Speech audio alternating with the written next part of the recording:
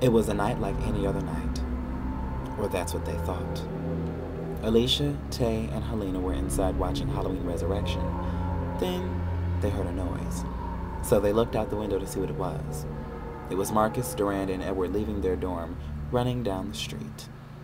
They thought they were being weird, you know, until they heard a special report on TV. Now, the thing is, the kids lived in dorms, and right down the street was the hospital that Michael Myers was in.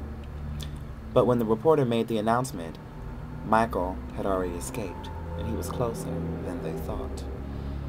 When the report was made, they insisted for everyone to stay indoors for their own safety. I'm not staying in this house for a minute longer, girl, said Helena. Tay and Helena had already had their shoes on, except Alicia. She wasn't prepared for the fact that Michael was in the dark room behind her. Helena saw him and told Alicia to move. As soon as she gave a signal, Michael started walking towards her. Bitch, run! said Helena. As Alicia, missing the strike of Michael's knife by inches, they ran out of the dorm. Once they were out of the dorm, they started running down the street. As Alicia looked back, she saw Michael walking behind them. She looked forward for a few seconds, and when she looked back, he was gone. Typical, right? My whole thing is you don't keep your eyes off of nobody. You stay just far enough, you know what I'm saying? But no, you don't take your eyes off of nobody because they be doing anything. They ran all the way down the street and saw Carly sitting on her porch. What the hell is wrong with y'all? Carly asked. Michael Myers is in our dorm, Tay said. Whatever, y'all have nothing more to do with y'all time to try to play games, said Carly. As soon as she turned around to go in the house, Michael was standing right behind her. As she attempted to scream, Michael took out his knife and stabbed her in the mouth. As the knife came out the back of her head, her eyes began to bleed. Gruesome. As they began to run down the street, Alicia was tired of wanting to rest. Can we walk, please? Hell no! Do you know who we running from? Helena. Well, he walks, Alicia said. So? Helena. Look, there's an abandoned house at the end of the street. We can rest there until we figure out a plan. Now, my whole thing is, what is the point of going into a house? You know what I'm saying? That's confinement. You know, I'd rather be out where I can, you know, yeah, we don't do the house. Damn gnats. anyway. So, they reached the house. They ran inside and blocked the door with chairs and tables and sat in the corner.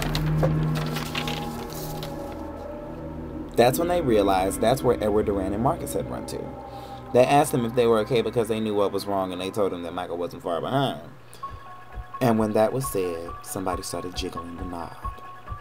They started getting up and shaking, then a knife busted through the door. Oh, Jesus, screamed Durand. Now, you know that wasn't none but me. Everyone started running up the stairs, and by that time, they all got up the stairs. He was in the house. Edward started throwing stuff at him as he was heading up the stairs, but nothing stopped him. Dumb. They ran up into the attic to jump out the window, and by the time they reached the attic, Michael was already on the second floor, child. The only way out the attic is out the window and shimmy down the gutter, said Edward. Helena and Tay hesitated to climb out the window, but they heard Michael coming up the attic stairs, so they had no choice. So they climbed out of the window and shimmied down the gutter, just in the nick of time. Shimmy. When they all got down, they ran, but Michael wasn't in sight. Then Marcus saw an empty minivan and got in. Come on, y'all, I can break into the car, said Marcus. If he can hotwire the car, we already know where he been at. They ran over to the van and they all got in. Marcus didn't see any keys and nobody knew how to hotwire a car. I'm sick of running. We need to find a way to get away from him. Marcus. Marcus didn't see any keys. Marcus locked the doors, and the only way to unlock the doors was from the driver's side. What idiot would make a car like that? When Marcus turned around to get out, Michael was standing outside Marcus's window. Lord Jesus. Michael broke the window, reached in, grabbed Marcus. Michael began to stab Marcus in the back. Oh well. Everyone was trying to break the windows with their feet. Edward broke the sliding door and everyone climbed out. Alicia was the last one to get out. Her shirt was caught in the broken window. Take off the damn shirt. You know, Helena said. I don't have on a bra, said Alicia. As Michael was coming around to Alicia, she was trying to get off the glass without getting cut, but it was too late. Michael grabbed her head and pushed her face into the broken glass. Bitch, why? Girl, you can run like this, okay? Why do you, girl? This is your life we talking about. This is not. They ran all the way down the block to the nearest bus stop. Luckily, a bus came just in time. As they boarded the bus, the driver hesitated to go any further because no one had any money. So instead of kicking them off, he closed the doors and went crazy. He started speeding down the street, screaming, None of you are getting off this bus until I have my fare. Then Edward tapped Helena's shoulders. Look in the back, Edward whispered. Helena looked and Michael had been on the bus the entire time. How in the hell did he get on here?